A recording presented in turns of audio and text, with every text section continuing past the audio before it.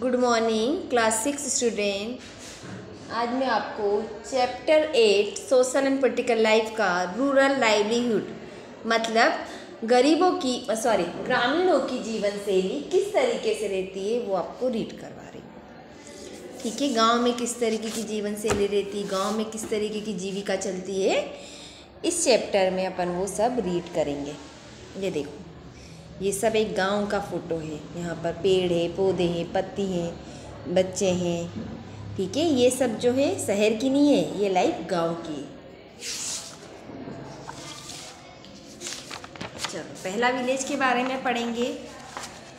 Kalpattu village कौन सा village के बारे में पढ़ेंगे अपन?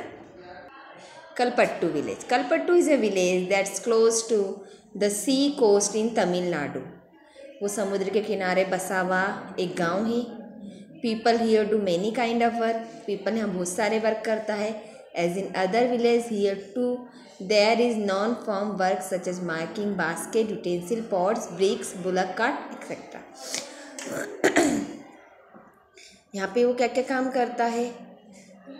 नॉन फॉर्म वर्क जैसे कि जो खेती से रिले रिलेटेड वर्क नहीं रहता है, उसे अपन क्या कहते हैं? नॉन फॉर्म वर्क कहते हैं। जैसे बास्केट का बनाना यूटेंसिल बर्तन पॉट्स ब्रिक्स बुलक काट बैलगाड़ी, बर्तन, ईंटें, मिट्टी के बर्तन पॉट्स को मिट्टी के बर्तन कहते हैं। ठीक है? घड़े, मिट्टी के बर्तन, ये सब बनाने को अपन क्या बोलते हैं?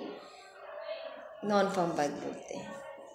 They are people who provide services such as blacksmith, nurses, teacher, washerman, weavers, barber, cycle repair mechanic and so on बहुत सारे पीपल ऐसा प्रोवाइड सर्विस करते हैं हमें जैसे ब्लैक स्मिथ गोल्ड स्मिथ मतलब सुनार ब्लैक स्मिथ मतलब लोहार। Nurses teacher washerman weavers barber cycle repair, mechanics and so on. ये सारे लोग इसमें रहते हैं। There are also some shopkeeper and traders इसमें बहुत सारे शॉपकीपर भी हैं और किराने वाले ट्रेडर्स भी हैं। In the main street which look like a bazaar ये एक बाज़ार की जैसे दिखता है। You will find a very variety of small shop such as tea shop grocery shop barber shop cloth shop tailor and two fertiliser and seed shop यहाँ पर आपको क्या क्या वैरायटी की चीज़ें मिलेंगी? छोटी शॉप्स मिलेंगी, जैसे कि चाय की टपरी मिल जाएगी, किराने की दुकान मिल जाएगी, नाई की दुकान मिल जाएगी क्लॉथ शॉप मिल जाएगी टेलर मिल जाएगा, और दो फर्टिलाइज़र की दुकान और बीजों की दुकान मिल जाएगी, ठीक है? There are four tea shops which sell tiffin दो टी शॉप है जो कि टिफ़िन सेल करते हैं such as idli, dosa and upma in the morning idli, dosa, upma morning में देते हैं and snack like vada, bonda and Mysore pak. उस कौन कौन से स्नैक स्नैक मतलब तले हुए आइटम ठीक है, जो भी फ्राइड आइटम रहते हैं, उसे अपन स्नैक कहते हैं। आलू बड़ा हो गया, वड़ाई हो गया और मैसूर पाक हो गया। Near the tea shop, in a corner, lives a blacksmith family whose home serves as their workshop. Tea shop के पास में कॉर्नर में ब्लैक स्मिथ की फैमिली रहती है, जो सारा काम घर से करती है। Next to there home in a cycle hire and repair उसके नेक्स्ट में, क्या है? साइकिल किराए से देने वाले और रिपेयर की दुकान है। Two families earn the living by washing cloth दो फैमिली है जो कि कपड़े धोती है और जीविका चलाती है धो भी मतलब laundry there are some people who goes in the nearby town to work as construction worker and lorry driver इसमें जो कुछ वर्कर रहते हैं कंस्ट्रक्शन मकान बनाते हैं और कुछ लॉरी ड्राइवर रहते हैं. The village is surrounded by low hills paddy is the main crop that is grown in irrigate land, most of the families earn of living agriculture. इसके बाद चारों तरफ़ विलेज के तरह, चारों तरफ़ छोटी छोटी पहाड़ियाँ हैं पेड़ यानी धान की मुख्य क्रॉप है। That is the grown is irrigated land ये सिंचाई करने वाली लैंड में उगती है। Most of the families earn a living through agriculture agriculture के द्वारा ही वो अपनी जीविका चलाते हैं। There are some coconut groves around cotton sugar cane and plantain और ऑल्सो ग्रोन यहाँ पे कुछ कोकोनट उगता है, नारियल की खेती होती है,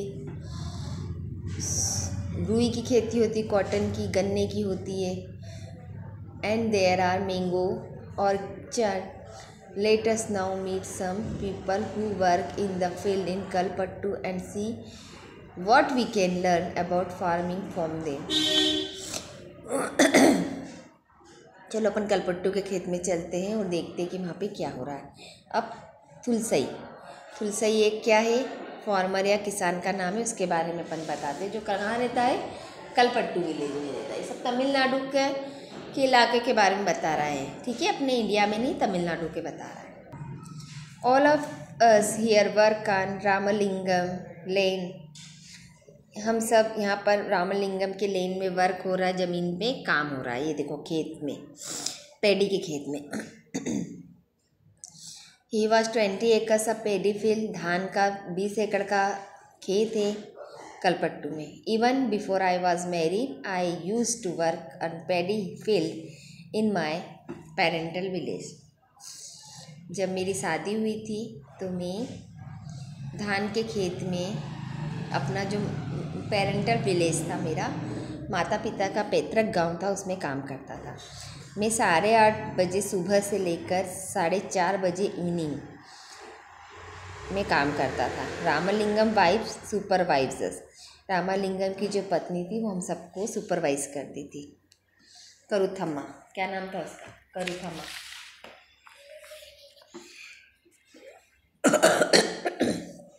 Sorry this is one of the few times in the year that I find regular work ये कुछ समय की बात है, जब मैंने इसमें रेगुलर वर्क इस ईयर में करा now I am transplanting the paddy अब मैं पेडी को ट्रांसप्लांट करता हूँ. When the plant have grown a bit Ramalingam will call us again for weeding and then finally once again the harvesting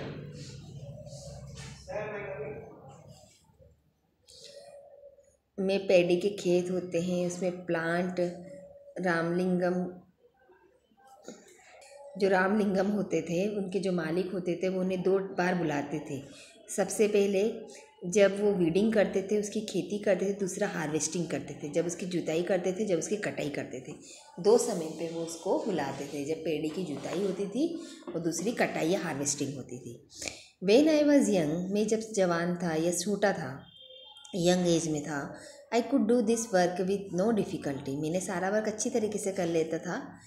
But now as I grow older I find bending for long hours with my feet in water very painful लेकिन, अब जैसे जैसे मेरी उम्र होती गई तो मैं अपने जो पैरों को पानी में लंबे समय तक डूबे रख के नहीं रख सकता।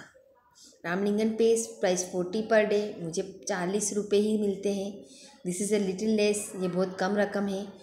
लेबर उस लेबर की जो मैं करता हूँ गाँव में। But I come here because I can depend on him to call me wherever there is work unlike other he does not go looking for cheaper labour from other village लेकिन मैं फिर भी ये वर्क कर लेता हूँ क्योंकि दूसरे गाँव में इससे भी कम तनख्वाह पे काम होता है। My husband Raman is also a labourer मेरा अब क्या कौन है? रमन जो है, वो भी एक वर्कर या मजदूर है। We don't own a my any land हमारी कोई लैंड नहीं है, ज़मीन नहीं है। During this time of the year he spray pesticide इस साल वो क्या कर रहे हैं? पेस्टिसाइड खेतों में दवा कीटनाशक, दवा का छिड़काव कर रहे हैं। When there is no work on farm the fine work outside हमें बाहर कोई भी वर्क नहीं मिला I the loading sand from the river और stone from the quarry nearby हम कहाँ गए थे? सैंड को लोड करने, रेती को रिवर से निकाल के स्टोन से लोड करने गए थे। मतलब स्टोन और रिवर पूरी रेती को लोड करने का काम करने गए थे। This is sent by truck to be use nearby town to make houses ये जो रेती होती है, वो पास के शहरों में भेजी जाती ट्रकों से। ट्रकों को लोड करने का काम करते थे सैंड को। सैंड से। Apart from working on the land I do all the task at home सारा काम मैंने घर पे ही किया। I cook food for my family मैं घर पे खाना बनाती हूँ क्लीन करती हूँ, घर को हाउस वॉश क्लॉथ क्लॉथ को धोती हूँ। I go with other woman to the nearby forest to collect firewood में दूसरी औरतों के साथ जाकर क्या करती हूँ लकड़ियाँ कलेक्ट करती हूँ खाना बनाने के लिए। About one kilometre away we have a village borewell from where I fetch water मैं कम से कम एक किलोमीटर दूर जाती हूँ विलेज से। कहाँ जाती हूँ? पानी को कलेक्ट करने। My husband help in getting material such as groceries for the houses मेरे हस्बैंड क्या करते हैं? हेल्प करते हैं मटेरियल लाने में ग्रोसरी को।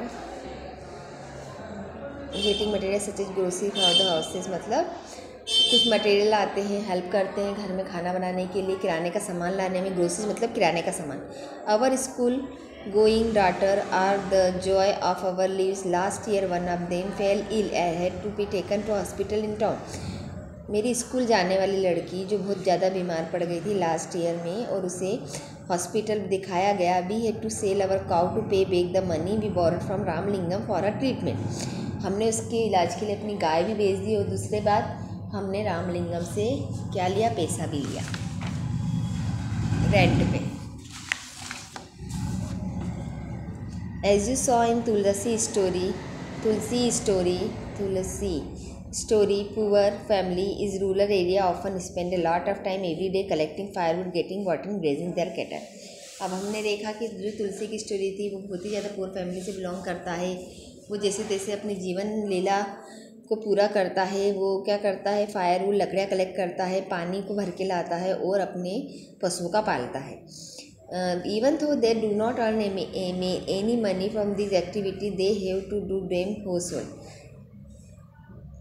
the family needed to spend time going doing this और they is not able to survive on the little money they are मतलब इस काम के लिए उसे बहुत ही कम पैसा मिलता है, क्योंकि उसके परिवार के लिए बहुत ही कम पैसा रहता है। छोटी सी मनी है। Nearly two fifth of all rural family are agriculture labour in our country यहाँ पे टू फिफ्थ जो सारे रूरल फैमिली गाँव की जो फैमिली है, वो एग्रीकल्चर लेबर में है। किसमें है? कृषि में काम करने वाले मजदूर हैं, कृषक है। There are some who have small plots of land while other like Tulsi are landless यहाँ पे कुछ के पास छोटे स्मॉल प्लॉट है और कुछ की लैंड क्या रहती है? बहुत ही कम रहती है, वो लैंडलेस रहती है Tulsi not being able to earn money through the year forces of people in many area travel long distance in search of work इसलिए वहाँ पे ज़्यादा पैसा नहीं कमा सकते, इसलिए वो कहाँ आते हैं? ट्रैवल करके दूसरी जगह पे जाते हैं। दिस ट्रेवल और migration take place during particular season ये जो ट्रेवल है माइग्रेशन होता है, उसके कारण वो पर्टिकुलर सीज़न में माइग्रेशन करके पैसा कमाते हैं। ठीक है? आज के लिए इतना ही। कल मैं आपको सेकर की स्टोरी पढ़ाऊँगी। क्लास में। ठीक है? आप इस चैप्टर को घर पे रीड करिए।